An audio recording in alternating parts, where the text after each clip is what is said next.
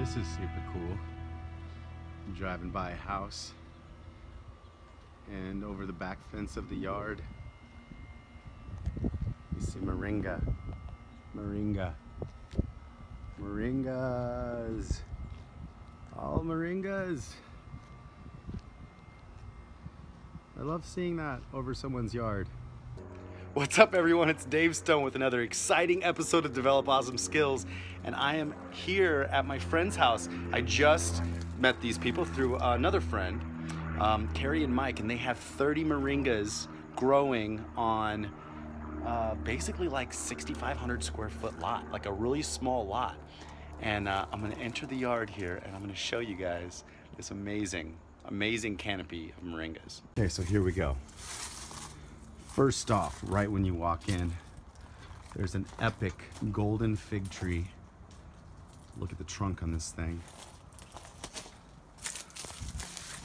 Like, it's just huge. So huge. Love this tree. It's a golden fig tree. Probably 15 feet tall. And this looks like an apple tree. It's beautiful. And I want you to notice, guys, on the ground here, she was saying that they have granite. This isn't even clay on this lot. Because if you look over here, there's mountains. Like, this is right in the, in the valley of some mountains. So this is all granite. So she actually had to cut out holes to plant some of these trees. Um, got a date palm, nice pomegranate. And right now we are about to walk under the canopy of moringas. So check this out. Look at all these moringas growing. It's just so beautiful. I mean, it's noticeably cooler under here. Um, also, look at this. I don't know if you could see that, but every time you walk, it's like very loamy. So they've added a lot of wood chips over the years, and you can see the moringa pods are just mulch down here. Um, it's awesome. And they got sweet potatoes growing as ground cover. You know, you got some kale over there. Um, and check this out. Once you start growing moringas, you're going to get little seedlings just popping up everywhere. So there's another one there. And they're all over the place, these seedlings. But these have been in the ground for a couple years. And if you come right over here, there's a cool papaya, super tall papaya right there. And then this is a, I think this is a kumquat. Got little, little kumquat fruits on it. And look, look at these beautiful grapevines just totally spread out all over the wall. Very thick little trunk down in there if you could see that. And uh, oh, this might be a little mulberry. And then this is an avocado that she planted from seed.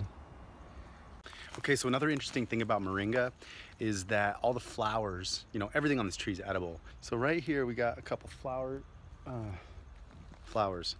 Now, here's a little, some leaves. The flowers are edible, but if you let a lot of flowers grow on your trees, you're gonna get less leaves. So what these guys like to do is they like to harvest the flowers from the lower levels and they leave the flowers on the top, you know? But when you look at the tops, it has less, less leaves at the top. So the flowers are excellent. Mm. Pretty hearty, kind of sweet. Great for a salad. Mm, so good.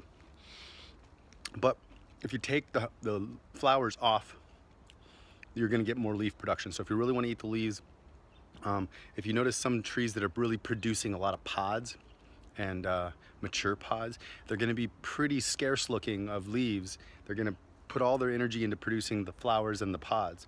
So if you really want to eat a lot of leaves, pluck, pluck off your flowers. Leave the ones at the top so you can get some pods at the top. But uh, you'll grow a lot more leaves that way. So that's what they, they do here. That's their method. And you can see all the flowers really much on the top here. And you can see how little leaves are on those branches when it's got flowers. I'm gonna pull a branch here and show you, little guy. So look at this branch. This branch has two, three stems of, of, of leaves, and then the whole top is flowers. So this is uh, indicative of what you're gonna get. You're gonna get less leaf production when you have flowers growing, which is fine because you can eat the flowers too. So anyways, hope you guys uh, got a little information out of that. Watching me eat flowers. Mmm, I want some leaves. Mmm, I'm like an animal. I have a mouthful of moringa. Salad right on the tree. Just come out here and spray some olive oil on it. Spray some salt. You don't even really need it. Mmm. Mmm. So these thick pods, they're so fibrous on the outside that um, you can't just bite into them because it'll, it'll get in your teeth and stuff. But inside the pod, you see the seeds here.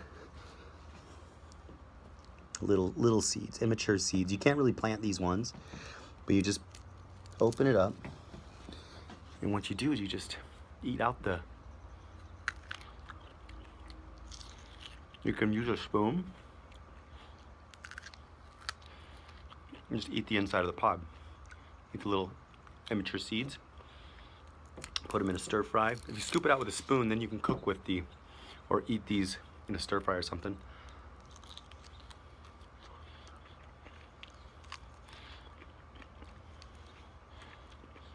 I gotta say, it's very tasty. I think I saw an immature pod over there too, so I'm gonna go show you that after I eat this pod.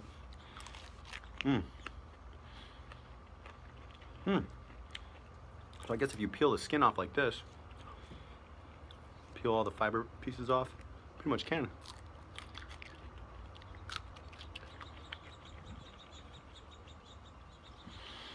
What a day. All right, so I want to show you guys some of these immature pods. So these are the immature pods, the ones with less fiber in them.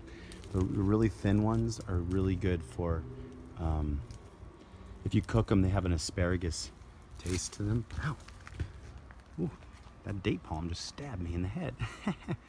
so these are little green moringa, moringa pods, the immature ones. And uh, you just eat them. Not a lot of fiber in these.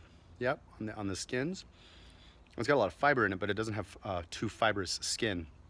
So when you eat it, Kind of has like a green bean flavor raw. It's pretty good.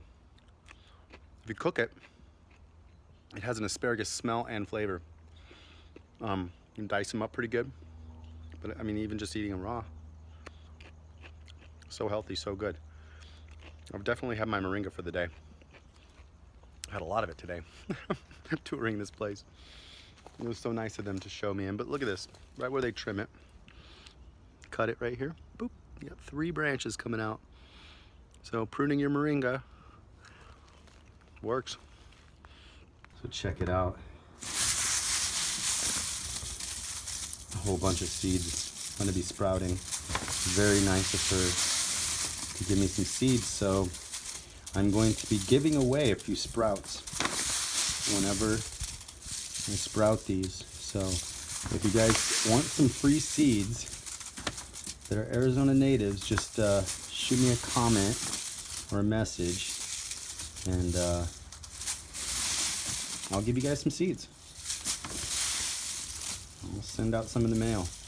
These are Arizona natives. I also have the PKM ones, which is the ones I'm growing right now, but look at that. It's just beautiful. I'm gonna test these uh, Arizona hardy native seeds from these moringas here. And we're gonna do some tests to see how they grow compared to the PKM1 seeds. Thanks guys for tuning in.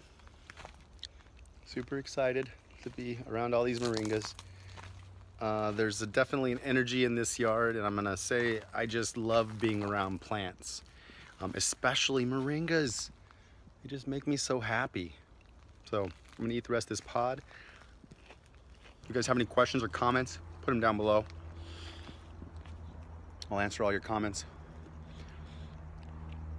And if you guys want me to do a video on something else, on anything,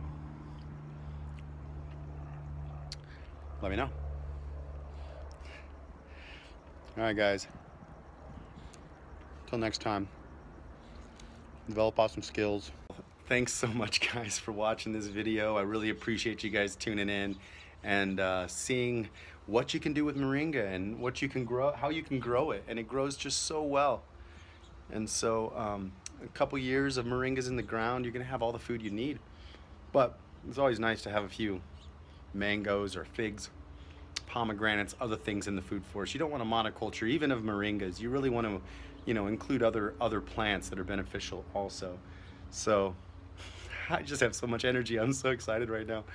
Oh man, I love moringas. So if you guys like this video, give me a big green thumbs up. Hit the share button and let's share this video with the world. Let's show people that they can grow moringas and uh, they can eat it every single day. If you can't grow your own moringa right now, if you're in an apartment or something, just find super organic moringa capsules or the powder. So you can cook with the powder, you can take higher dosages with the powder, but the capsules are really nice because you can just pop a couple capsules in the morning and you don't even need a, I, I, I've been eating moringa for a while now and I've had three coffees in the last three months. Not that coffee is the worst thing for you, but I'll tell you, I have way more energy without drinking coffee. And every time I try to drink a coffee now, for nostalgic sake or whatever, I get pretty jittery, super jittery, and uh, I drop. I can really notice it now um, as I'm starting to listen to my body a little bit more. so anyways, guys, I'm gonna end on a beautiful moringa blowing in the wind. And um, until next time, develop awesome skills and uh, yeah, so enjoy the moringas blowing in the wind. I love you guys, and until next time, ciao.